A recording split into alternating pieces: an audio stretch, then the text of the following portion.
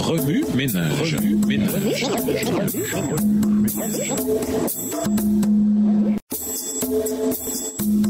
Remue ménage. Remue ménage.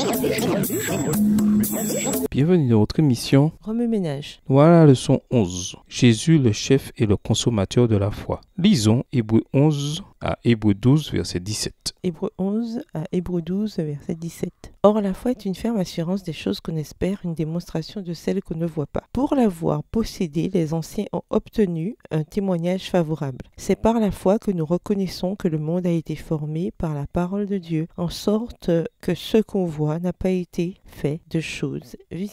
C'est par la foi qu'Abel offrit à Dieu un sacrifice plus excellent que celui de Caïn. C'est par elle qu'il fut déclaré juste Dieu approuvant ses offrandes, et c'est par elle qu'il parle encore, quoique mort. C'est par la foi qu'Enoch fut enlevé pour qu'il ne vit point la mort, et qu'il ne parut plus parce que Dieu l'avait enlevé. Car avant son enlèvement, il avait reçu le témoignage qu'il était agréable à Dieu. Verset 6. Or, sans la foi, il est impossible de lui être agréable, car il faut que celui qui s'approche de Dieu croit que Dieu existe, et qu'il est le rémunérateur de ceux qui le cherchent. C'est par la foi que Divinement averti des choses qu'on ne voyait pas encore, et saisi d'une crainte respectueuse, construisit une arche pour sauver sa famille. C'est par elle qu'il condamna le monde et devint héritier de la justice qui s'obtient par la foi. C'est par la foi qu'Abraham, lors de sa vocation, obéit et partit pour un lieu qu'il devait recevoir en héritage, et qu'il partit sans savoir où il allait. C'est par la foi qu'il vint s'établir dans la terre promise, comme dans une terre étrangère, habitant sous des tentes, ainsi qu'Isaac et Jacob, les co-héritiers de la même promesse, car il attendait la cité qui a de solides fondements, celle dont Dieu est l'architecte et le constructeur. Verset 11. C'est par la foi que Sarah elle-même, malgré son âge avancé, fut rendue capable d'avoir une postérité, parce qu'elle crut à la fidélité de celui qui avait fait la promesse. C'est pourquoi, d'un seul homme, déjà usé de corps, naquit une postérité nombreuse, comme les étoiles du ciel, comme le sable qui est sur le bord de la mer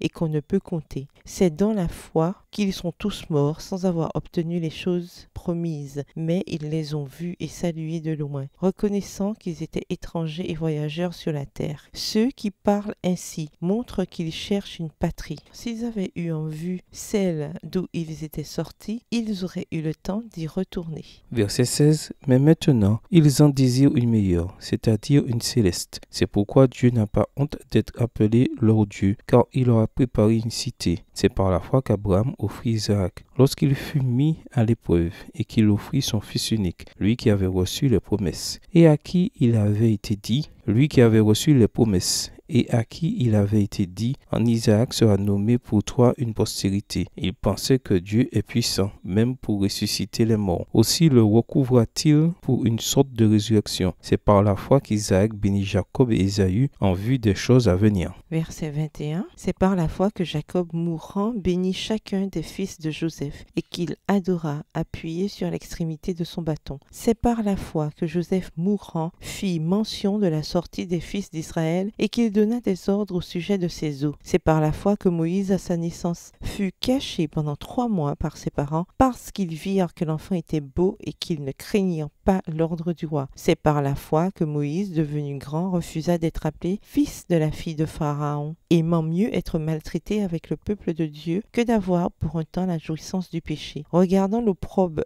de Christ comme une richesse plus grande que les trésors de l'Égypte, car il avait les yeux fixés sur la rémunération. Verset 27. C'est par la foi qu'il quitta l'Égypte sans être effrayé de la colère du roi, car il se montra ferme comme voyant celui qui est invisible. C'est par la foi qu'il fit la Pâque et l'aspersion du sang, afin que l'exterminateur ne touchât pas au premier-né des Israélites. C'est par la foi qu'ils traversèrent la mer Rouge comme un lieu sec, tandis que les Égyptiens qui en firent la tentative furent engloutis. C'est par la foi que les murailles de Jéricho tombèrent après qu'on en eut fait le tour pendant sept jours. Verset 31. C'est par la foi que Rahab la prostituée ne périt pas avec les rebelles, parce qu'elle avait reçu les espions avec bienveillance. Et que dirais-je encore? Car le temps me manquerait pour parler de Gédéon, de Barak, de Samson, de Jephthé, de David, de Samuel et des prophètes, qui par la foi vainquirent des royaumes, exercèrent la justice, obtinrent des promesses, fermèrent la gueule des lions, éteignirent la puissance du feu, échappèrent aux tranchants de l'épée, guérirent de leurs maladies, furent vaillants à la guerre, mirent en fuite des armées étrangères. Des femmes recouvrirent leur mort par la résurrection. D'autres furent livrés au tourment et n'acceptèrent point de délivrance, afin d'obtenir une meilleure résurrection. Verset 36. D'autres subirent les moqueries et le fouet, les chaînes et la prison. Ils furent lapidés, sciés, torturés. Ils moururent tués par l'épée. Ils allèrent ça et là, vêtus de peau de brebis et de peau de chèvre, dénoués de tout, persécutés, maltraités. Eux dont le monde n'était pas digne, errant dans les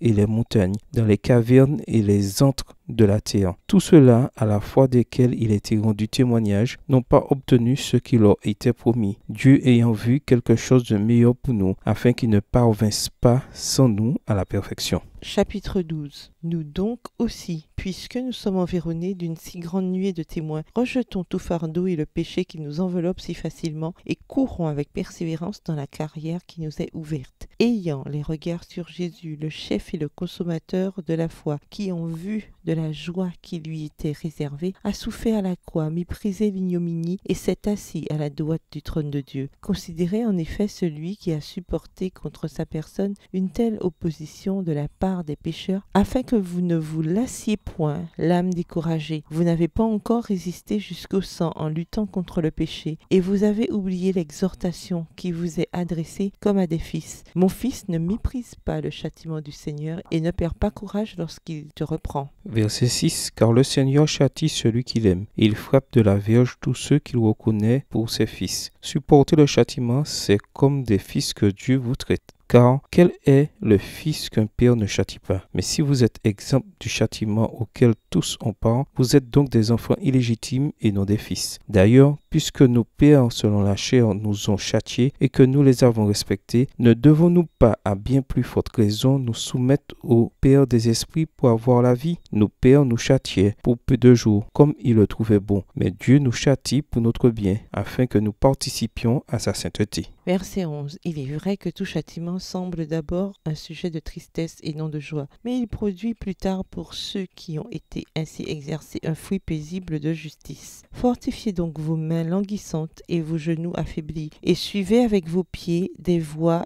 droite, afin que ce qui est boiteux ne dévie pas, mais plutôt se raffermisse. Recherchez la paix avec tous et la sanctification, sans laquelle personne ne verra le Seigneur. Veillez à ce que nul ne se prive de la grâce de Dieu, à ce qu'aucune racine d'amertume poussant des rejetons ne produise du trouble, et que plusieurs n'en soient infectés. Verset 16. À ce qu'il n'y ait ni impudique ni profane comme Ésaü, qui pour un mai vendit son doigt d'aînesse. Vous savez que, plus tard, voulant obtenir la bénédiction, il fut rejeté, quoiqu'il la sollicita avec larmes, car son repentir ne put avoir aucun effet. Introduire la course de la foi. Hébreux 11 et 12 sont probablement les chapitres les plus aimés de l'épître. Ils comparent la vie chrétienne à une course à laquelle nous participons tous et dans laquelle tous ceux qui restent fidèles recevront la récompense. Ils comparent aussi le drame de la rédemption à une course dans laquelle les gens de foi du passé ont persévéré malgré les souffrances, mais n'ont pas encore reçu la récompense. Il en est ainsi parce que l'histoire se termine avec nous aussi, et pas seulement avec eux. L'acte final, c'est nous. Le drame culmine avec notre entrée dans la dernière partie de la course, et avec Jésus qui est assis sur la ligne d'arrivée, à la droite de Dieu. Le Seigneur est à la fois une source d'inspiration et l'exemple ultime de la façon dont la course doit être courue. Il est le témoin ultime que la récompense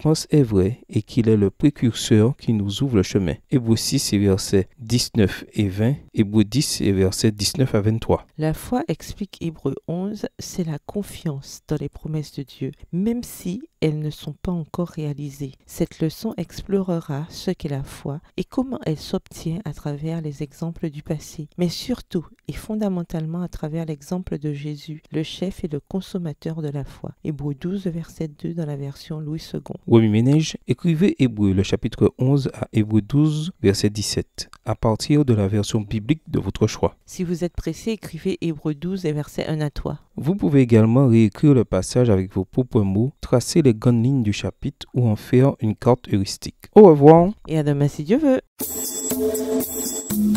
Remue ménage. Remue ménage.